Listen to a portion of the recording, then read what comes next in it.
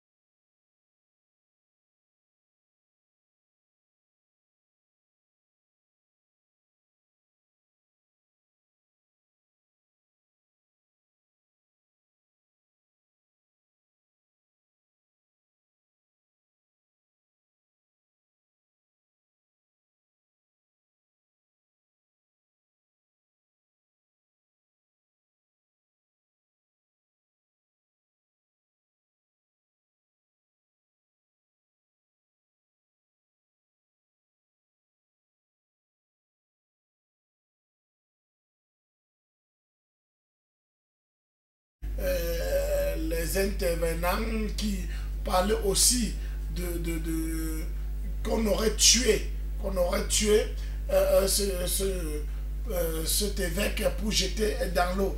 Alors, qu'est-ce qui se passe au juste? Mais alors que nous voyons très bien que l'évêque a posté sa voiture et il a dit qu'il voyageait, qu'il voyageait. Grande est la surprise de, de ce fidèle de retrouver encore sa voiture plutôt au niveau du pont. On se pose mille et une questions. Comment un monsieur, comment un évêque peut porter sa voiture qui voyage et il arrive au pont, il laisse une lettre que je suis dans l'eau.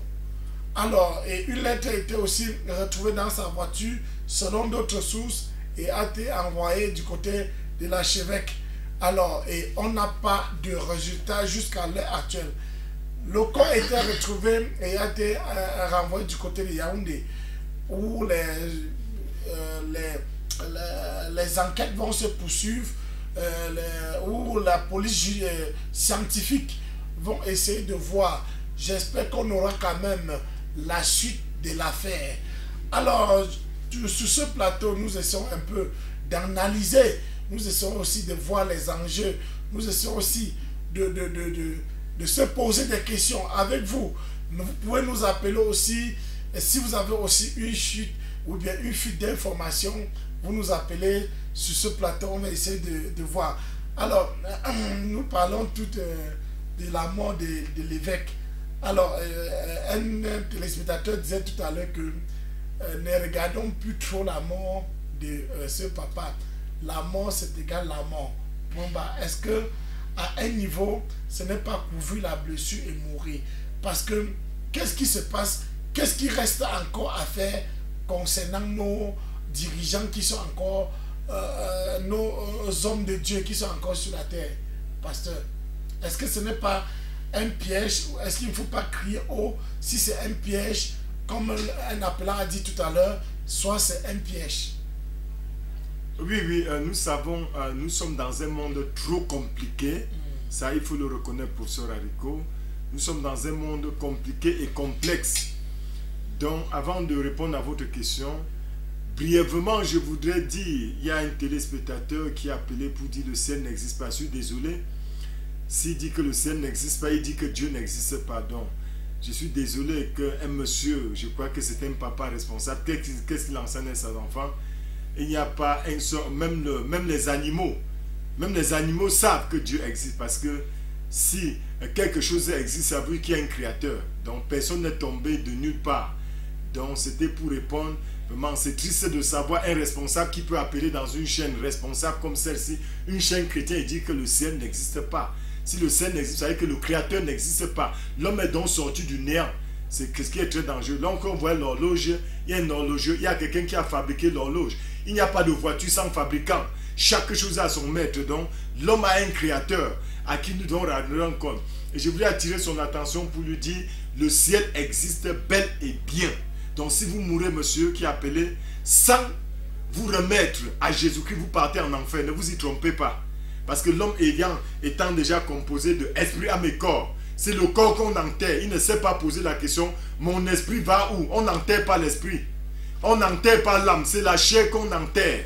Donc c'était la parenthèse, ce n'est pas le débat du jour. Je vais revenir, c'est tout juste pour lui dire, faites attention, le ciel existe.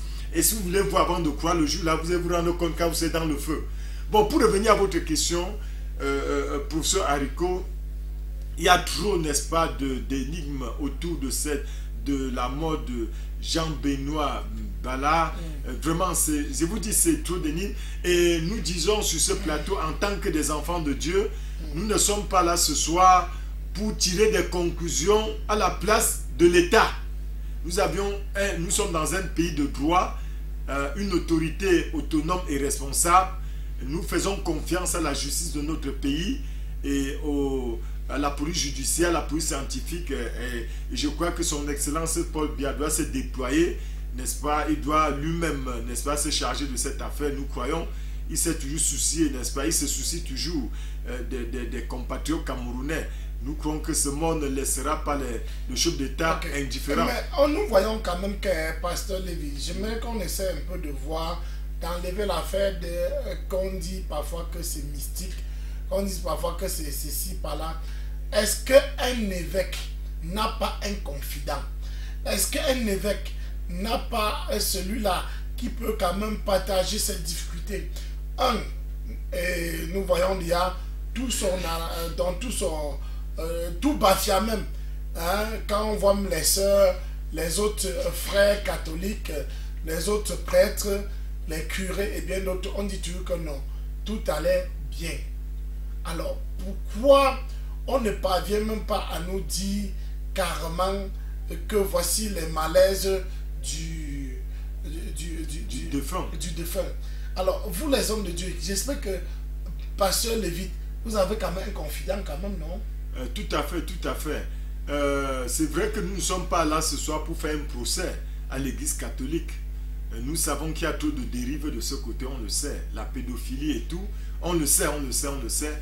Personne n'est ignorant de ce qui se passe à l'Église catholique, parlant des déviances de tout ça, la pédophilie, l'idolâtrie et tout. Bon, on, le sait. Mais euh, dans le cas d'espèce qui nous réunit ce soir, nous sommes là pour la consternation de la mort de cet homme.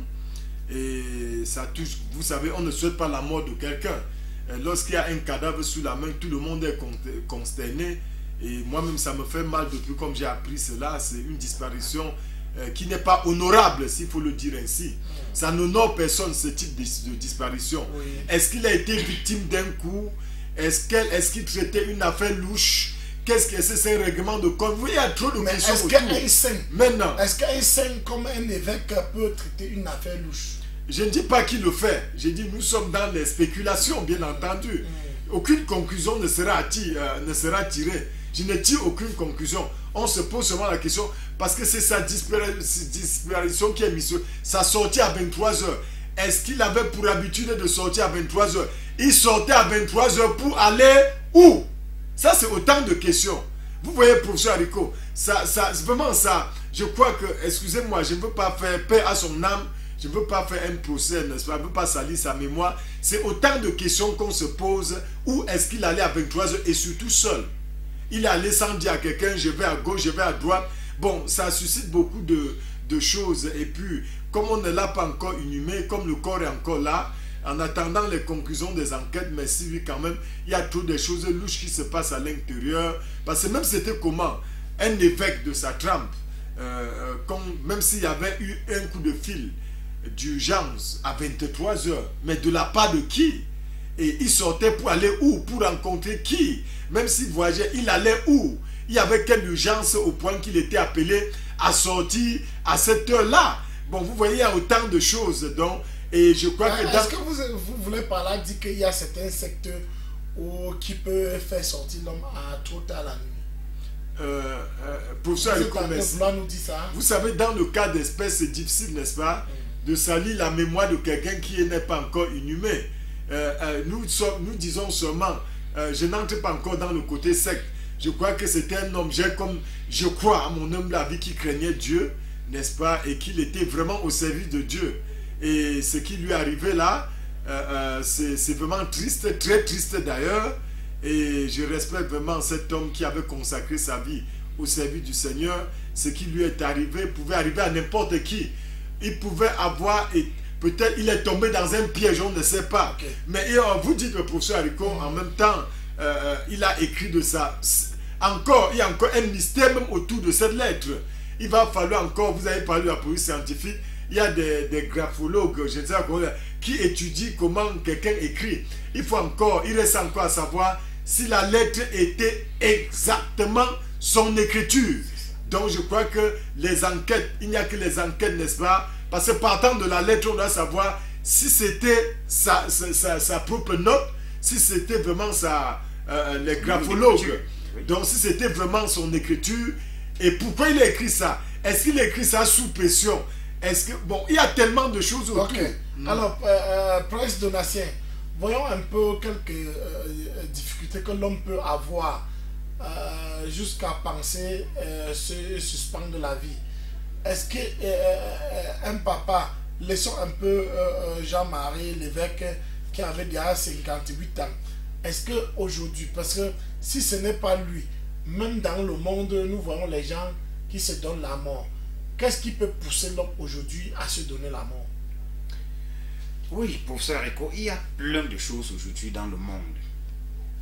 Il y a ces affaires de sectes qui peuvent pousser l'homme se donner la mort. Il y a aussi que, à un moment donné, Est-ce que toujours dans la secte, se donne, on, donne- on se donne toujours la mort? Vous savez aujourd'hui, les sectes aujourd'hui sont tellement compliquées que, à un moment donné, lorsque vous entrez, je prends le cas par exemple de la sorcellerie. Lorsque vous êtes dans la sorcellerie, même si vous videz votre famille, à un moment donné, on va demander votre propre sang. Alors, si vous êtes incapable, c'est-à-dire quand vous sentez qu'il ne reste que vous-même à donner, certaines personnes peuvent se donner la vie, peuvent ne pas laisser que ce soit euh, ce groupe qui l'emporte, lui-même étant dépassé par se donner la vie. Mais on ne peut pas dire que c'était le cas de, de, de cet, de cet évêque, parce Non, qu'un e- évêque... essayons d'énumérer un peu Oui, ce oui, qui oui. peut amener l'homme à se suspendre la vie. Il y a des situations, il y a des situations euh, bizarres qui peuvent amener l'homme à se donner, à, se- à se- à suspendre sa vie. Vous savez, il y a des moments, par exemple, je prends le cas même de cet évêque. Ce n'est pas facile, ce n'est pas du tout facile d'être à la tête. nous parlons un peu des... Laissons un peu l'évêque. Oui, Revenons dans, les, le, euh, dans, Dans le social. Dans, Dans le social. Oui. Laissons voit ce qui. Qui peut pousser l'homme à se suspendre la vie Prince Donatien. pour un homme, pour un homme qui est vraiment debout, moi je pense qu'il n'y a que ces affaires de mauvaises sectes qui peuvent pousser un homme à se ôter la vie. C'est tout. ce- Je ne vois pas autre chose parce qu'un homme qui est vraiment né de Dieu, je ne vois pas ce qui peut le pousser Ok. Merci beaucoup. Euh, euh, euh, Vous-même, pasteur, avant d'être pasteur, vous avez quand même un regard dans la société. Tout à fait. Qu'en pensez-vous? Donc, Ou bien, qu'est-ce qui peut pousser l'homme? Ou bien, qu'est-ce qui a toujours, ah, qu'est-ce qui a toujours poussé l'homme à se ôter la vie? Merci professeur Rico, votre question est très pertinente. Euh, J'ai suivi beaucoup de faits qui ont amené des hommes à se donner la mort. Si je prends le cas de la France, où la- les sectes pernicieuses sont trop poussées en France, c'est le siège, le- la France est le siège de la Rose-Croix. Euh, vous savez, les Français sont... J'ai connu un pasteur à qui était à Lille. Il me dit, quand vous arrivez à, à l'aéroport Roissy-Charles de Gaulle en France, on ne vous dit pas que c'est le diable qui règne dans le pays là. Donc, et vous voyez, c'est la France qui fait encore la promotion de la Rose-Croix en Afrique. Vous allez voir beaucoup de nos chefs d'État, beaucoup de ministres sont dans la Rose-Croix. C'est des sectes qui viennent d'ailleurs. Est-ce que dans la rose j'y arrive. croix... Non, non, je, je, Oui. pas que je vous coupe la parole. Oui. Alors, est-ce que dans la rose croix, on se donne que la mort? Oui, mais C'est ça que je dis. Eh ben, si on se donne la mort, c'est que jusqu'à aujourd'hui, la rose croix n'existe- n'est Non, non, non, vous savez, c'est la rose croix. Merci, euh, professeur Rico. Vous me poussez là à bout, n'est-ce pas? La rose croix est très dangereuse. Ils sont en train de pénétrer des étudiants. Et est-ce que vous savez combien d'étudiants meurent au Cameroun par an? Parce qu'ils se rendent compte qu'on les avait trompés. Parce que le diable ne viendra jamais te dire qu'il est le diable. Le diable. C'est pourquoi la Bible dit que c'est des gens déguisés. Par exemple, euh, pardon, professeur Rico, vous avez posé là une question dans 2 Corinthiens. La Bible nous dit comment ils viennent. Et la rose croix ne dira jamais que c'est une secte pernicieuse. Ils viennent dire sous la, la forme des, gens qui font quoi? On dit des personnes bienfaisantes, n'est-ce pas? Ils viennent toujours comme des gens qui viennent, des bienfaiteurs. C'est-à-dire comme une entreprise philanthropique. Vous voyez? Donc, et on dit que c'est des gens déguisés. C'est gens, ils viennent sous forme, ils disent non, nous allons vous parrainer. Et vous allez voir, c'est très fréquent dans nos universités où on dit pour être, pour avoir, aller loin avec les études, vous devez être parrainé. Mais malheureusement, euh, malheureusement, Oui. malheureusement, nous avons vu un un conducteur de moto, ici au troisième carrefour, qui s'est donné lui-même la mort. Oui, j'y arrive. Il n'était pas dans la rose croix. Non, je, je vais d'abord prendre le cas. Comment Nous allons décrypter ce soir. Je crois que vous avez fait euh, bien de mentionner Ça, c'est la là. La Bible dit dans 2 Corinthiens 11 comment il fonctionne. Euh, 2 Corinthiens 1 à partir du verset 13. Ces hommes-là sont des faux apôtres, des ouvriers trompeurs déguisés en apôtres de Christ. On dit déguisement. La franc-maçonnerie, la rose quoi, le Rotary Club. Vous voyez même aujourd'hui le Rotary Club qui va faire des dons dans des écoles et on accepte. Là, les Rotary, Rotary Club et Lyon Club, ce sont des branches de la rose quoi, c'est des Ça a sorciers. à y voir avec euh, la suspension d'une vie Ouais, mais qu'est-ce qui se passe? C'est qu'ils viennent d'abord comme des bienfaiteurs. C'est-à-dire comme des gens qui viennent vous aider dans une situation difficile. Vous êtes par exemple étudiant, vous allez voir qu'ils enrôlent beaucoup des étudiants dedans. Parce que quand les gens entrent dans une université,